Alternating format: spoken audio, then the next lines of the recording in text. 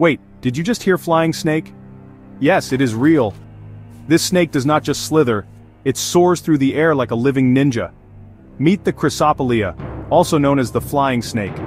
Native to South and Southeast Asia, this incredible creature does not actually have wings, but that does not stop it. Here is how it works, it climbs trees using its belly muscles like a pro. Then it launches from a branch, flattens its body like a ribbon, and glides up to 100 feet. That is like leaping from a 10-story building and landing perfectly. But why fly? To escape predators, travel between trees, or hunt insects and birds mid-air. It is not venomous to humans, but trust me, you would not want one gliding straight at your face. And guess what?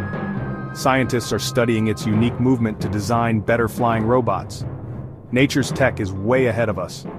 Mind blown? Hit that like button if you never knew snakes could fly. Subscribe for more wild nature facts, and drop a snake emoji in the comments if you are brave enough to watch one in action.